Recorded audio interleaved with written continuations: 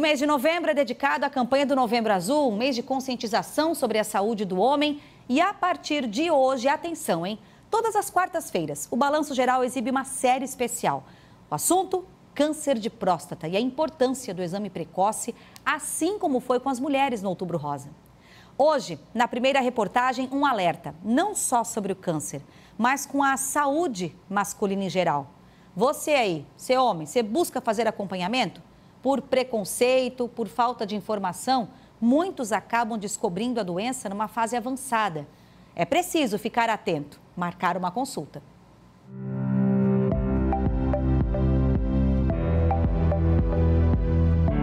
Mesmo agora, em tempos em que a tecnologia é tão avançada e o acesso ao conhecimento é cada vez mais facilitado, falar sobre a saúde masculina ainda não é nada simples. E esse silêncio é tão perigoso quanto as doenças que acometem os homens. O homem tem dificuldade desde a sua adolescência por ter dificuldade em ir ao médico. Tanto é que existem estatísticas que demonstram que o menino, o adolescente, vai oito vezes menos ao médico do que a menina adolescente. Isso acontece exatamente pelo fato de que existe uma certa restrição e existem várias causas que levam a isso. E muitas vezes o problema começa antes mesmo dos sintomas. Afinal, é grande a resistência deles em ir ao médico gente só deixa para a última hora, né? E aí tá o problema, né? Pode ser que aconteça que você esteja com algum problema, mas só espera que a dor venha, né? E aí? Geralmente eu trabalho o dia todo, cara, então é correria para lá e para cá. É... Então é isso, cara. Só almoço e pronto. Uhum. Não vou no hospital, né? Espera acontecer alguma coisa para buscar o médico. É. Geralmente é isso, velho. Só quando sinto alguma coisa assim. Mas não, não é direto. Daí vou procurar o médico quando estiver doente. Mas o que faz os homens correrem tanto assim dos consultórios? Existe um tabu ainda muito forte na sociedade de que o cuidado ele é voltado apenas para o público feminino e é um tabu dentro da masculinidade, né? Porque os homens aprendem desde cedo de que para ser homem tem que ser forte, homem não pode chorar, homem não sofre, o homem aguenta tudo sozinho, as dores, né?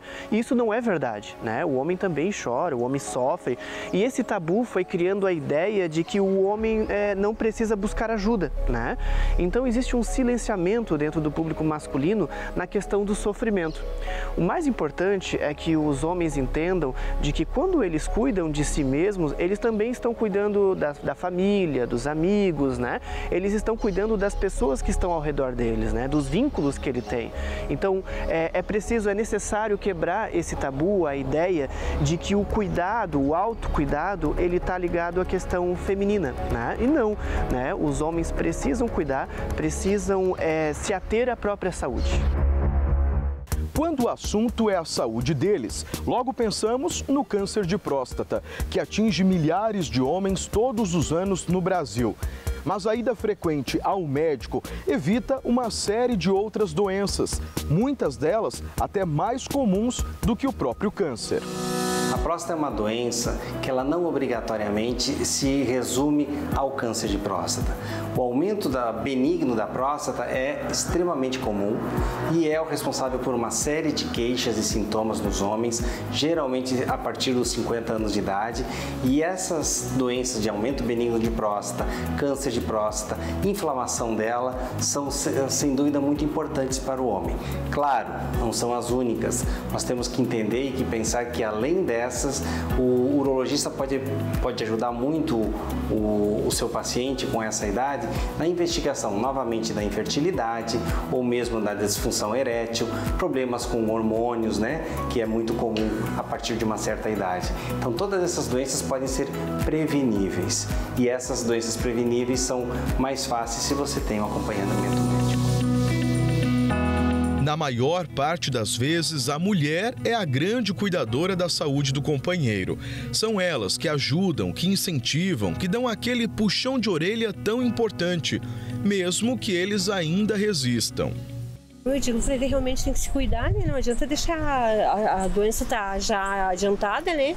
Então eu digo para ele consultar, mas não vai. É muito importante os homens fazerem esses exames aí, né? Se aparece a doença, é fácil daí de curar no começo, né? E a senhora faz o alerta e incentiva. Claro, tem que, tem que fazer, né? A gente também faz, né? Não importa a doença, o melhor caminho é uma vida saudável e a prevenção.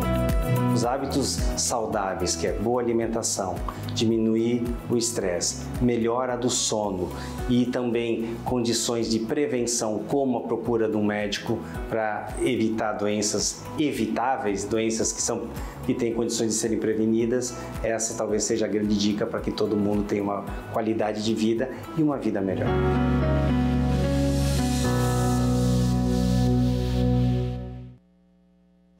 É a primeira da nossa série de reportagens. Quarta-feira que vem a gente volta a falar sobre esse assunto, mas ao longo dos próximos dias também, ações de conscientização que acontecem. Se por acaso aí no seu bairro uma unidade está trazendo alguma palestra, enfim, né, cuidar da saúde do homem. A palavra preconceito acho que faz tempo, tem que ser começada a deixar de lado e pensar o quê? Em saúde, viu? Por você pela sua família. Se você ama, se você quer conviver anos ao lado da sua família, é cuidar da sua saúde num todo.